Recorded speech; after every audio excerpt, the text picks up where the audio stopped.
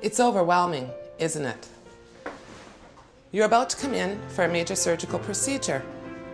For some of you, you may have had this experience before, but it's still an intimidating journey. You have so many questions. We have the answers. My name is Cindy. I'm a pediatric pre-admission clinic nurse. Along with the pre-admission clinic team, the PAC team, I have taken many families through the pre-admission process. The goal of the entire PAC team is to ease the confusion and anxiety you feel. In this presentation, we will tell you about key procedures that need to be performed. We will also introduce the people you will encounter along the way. So, by the time we're done, you'll understand the roles the different nurses, technicians, and doctors play in a patient's treatment and recovery. You'll know who you can reach out to for help and information when you're with us. You'll know what to expect. We're here for you every step of the way.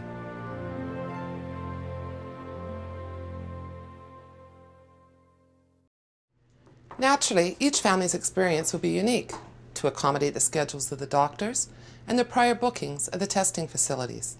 We want to make sure the PAC experience is as comfortable and as stress-free as possible for your family and the child who is being treated, whether that's an infant, a toddler, a young child, or a teenager.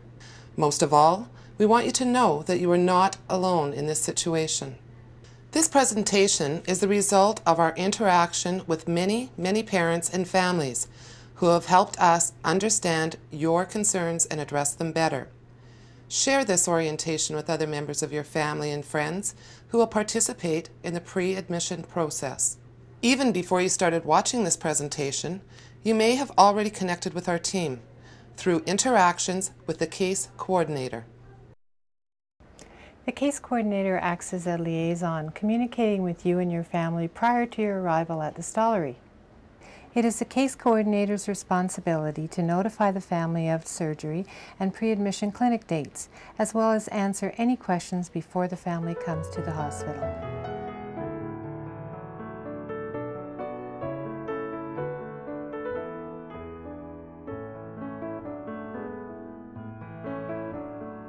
The Stollery Children's Hospital is located on 84th Avenue and 112th Street in Edmonton, in the heart of the University of Alberta District south of the river valley. It is part of the University of Alberta Hospital Complex. When you get to the hospital, look for the Big Bear. You may also visit our website for maps and direction information. This is Kaylee and her mother Charlene, perhaps a family like yours, coming for treatment at the PAC. Mom, I see it. Oh, yes, there it is. It will be a good idea to get to the hospital a little earlier to allow you the time you'll need to park and get over to the pre-admission clinic.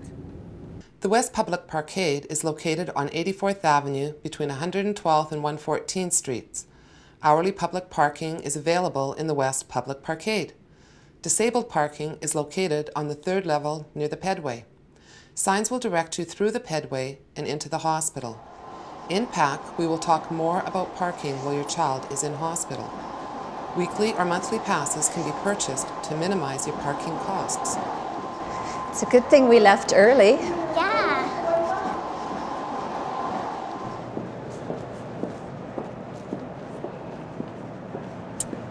Wow. Wow. Is this whole thing a children's hospital? No, just the part with the bear is. The Stollery Children's Hospital is a hospital within a hospital. The Stollery entrance is at the southwest side of the University of Alberta Hospital. As you enter, you'll find a food court to the left. There's also a pharmacy and a store that offers gifts, books, toys for children, stationery, calling cards, and more. The Stollery Bear inside will help you find the glass elevators that will take you to the fourth floor, up to 4C2 where your pre-admission clinic process will begin.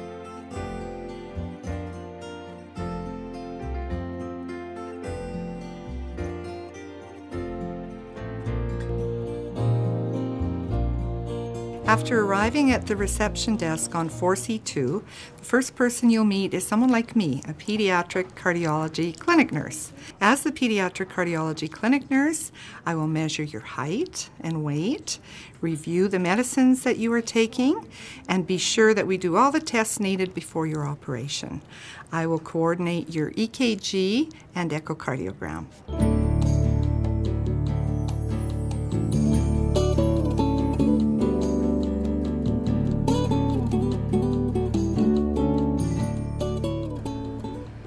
Cardiology technologist. I will do the EKG test. Basically, the EKG is a painless test which documents your heart's rate and rhythm. We place 10 electrodes on the body, which pick up the electrical activity of the heart. The information is transmitted to a paper graph. The electrodes may feel cold when they are first put on because of the gel, which is used to help pick up the heartbeat. When we remove them, there may be a slight pulling on the skin. Younger patients are often quite interested to see the graph of their heartbeat.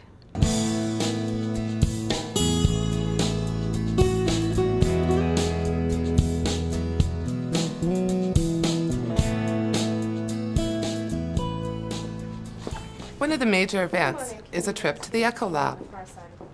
Okay, Kaylee, we're ready to go.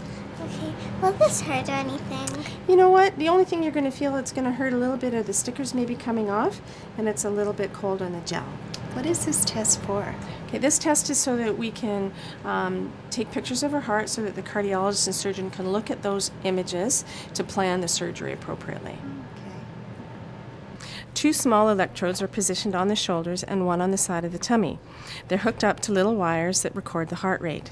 Then a small camera with some gel on it is held on the tummy, the chest, the side, and the neck. Several pictures will be taken from each of those areas. The echo pictures show the heart muscle, the valves, the chamber sizes, and the direction of the blood flow through the heart and how the heart is put together. This test can sometimes take up to 45 minutes. The patient can watch movies during that time.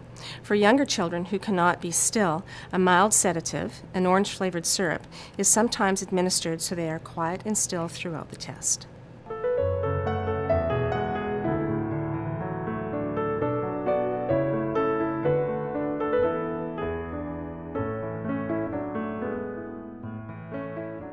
After your EKG and echo tests are completed, you will take the elevator again and come down to the first floor where the pre-admission clinic is located, near the Stollery entrance. As you arrive, your PAC nurse, someone like me, starts notifying all the team members that you are ready to be seen. So did you find everything okay? Yes, thank you. How long will we be in PAC? Your visit could take up to five hours today. Wow, then glad I bought my video games. It really will help pass the time. First, let's talk about the preoperative and the postoperative experience. One of the things we're going to do today is take blood pressures. We're going to take one on each arm and on each leg. Then I'm going to listen to your heart, and then I'm going to listen to your lungs. You'll get a lot of information, and you may not remember it all, but that's okay. This is a settling in time for you. It's also a great time to ask questions. And remember, go ahead, ask any question. Another thing about the PAC experience is you may not see everyone in the exact order as presented in this video. But don't worry, by the time you're done, you will have seen and talked to everyone.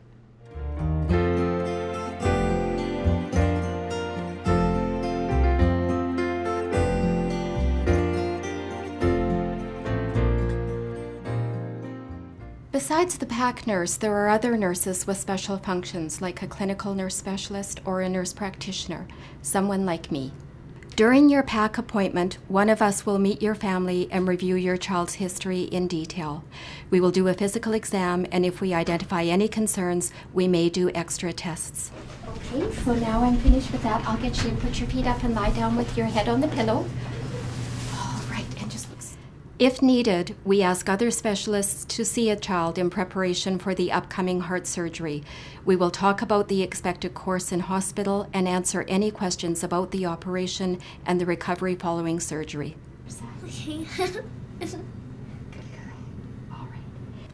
If we anticipate any special needs during the recovery, we will explain these to the family. We want to be sure we address all of your concerns while you are here in PAC. We encourage you to write down your questions and bring them to this appointment. Just remember, no question is too unimportant. Every question is worth asking.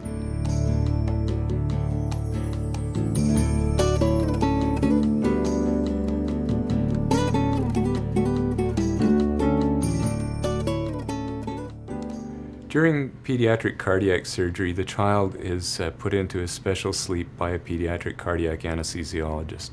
The role of the anesthesiologist in the care of children having heart surgery uh, begins before the surgery. We meet the children and their parents, and we learn about their needs as it pertains to their heart and their other medical needs. And it's by taking this information that we can then design an anesthetic plan that best suits each child. Some things that are common to the plan, though, are that we often give some form of uh, pre-operative sedative medication, which is administered just before the child leaves the pre-admission clinic. And then upon arrival in the uh, operating room, we commence our anesthetic, either intravenously or with an inhaled anesthetic agent. Then we're there continuously with the child right through until we turn the care of the child over to the uh, staff in the intensive care unit. Will I feel sick after? It's a possibility, but heart surgery, fortunately, is one of the operations that isn't as likely to make you feel sick, especially if you're meaning sick to your stomach. Will it hurt anything? All operations, if you didn't give special medicines, they would make you kind of sore. But we always give you part of your anesthetic is a is a medicine to make you comfortable, and that medicine is continued even after you're awake afterwards. So that keeps you comfortable. Questions are always welcome at any time. Sometimes during your pre-admission visit, there are things that you may have forgotten to ask that you'll think of later. I often suggest that you write these down and bring them with you when you come in on your day of surgery, and we're more than happy to take some time to answer those questions before you or your child go into the operating room.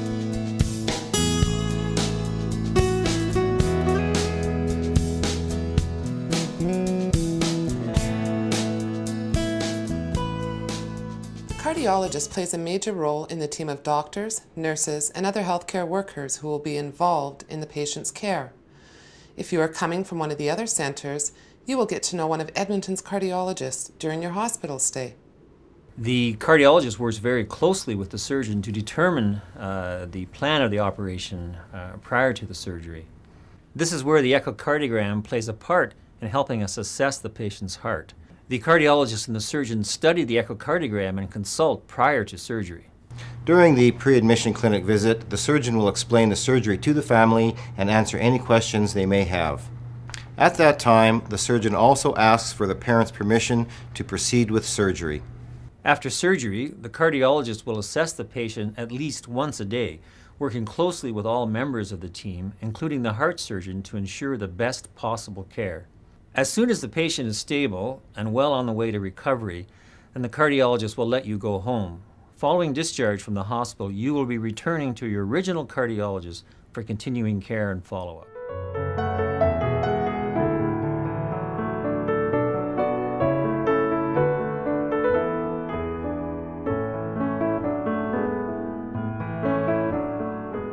As a case coordinator, I will meet you in the pre-admission clinic and take you on a tour of the Pediatric Intensive Care Unit, or PICU. The tour will help your family get a better understanding of what to expect after the transfer from the operating room to PICU. After your surgery, you will meet other hospital staff, such as physiotherapy, who will help you in your recovery from surgery. I will see you again when your child is transferred from the PICU to the cardiology unit, Unit 4C3, and be available to answer your questions or help you at any time.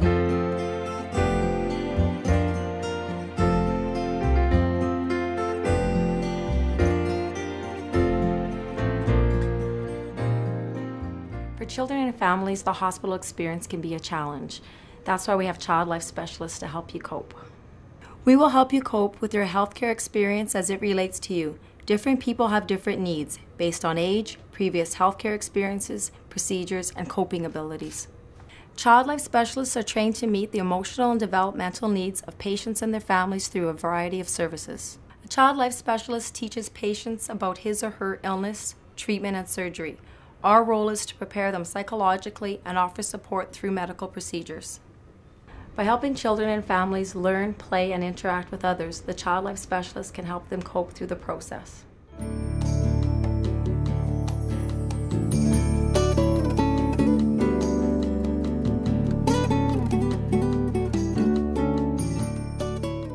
In PAC, social workers help families deal with the very beginning process of hospitalization. We complete a psychosocial assessment to help pinpoint a family's areas of needs and strengths. Main concern for families are parking, transportation, meal arrangements, the financial impact of hospitalization, childcare, and leave of absences from work. Social workers help families deal with these immediate concerns. The hospital is not able to provide these services directly to you, but we will help you secure funding wherever possible. In this way, caregivers can focus their energy on their child's recovery rather than on issues that can be taken care of prior to surgery. As a member of a multidisciplinary team, we would make referrals to other team members as needed, such as child life specialists and psychologists. While in the hospital, social workers will be available to you in PAC, the Pediatric Intensive Care Unit, as well as the Pediatric Cardiology Unit.